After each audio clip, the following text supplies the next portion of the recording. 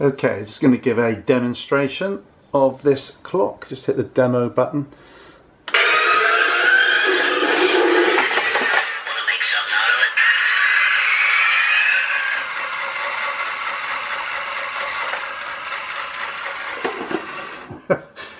you can't get any better than that.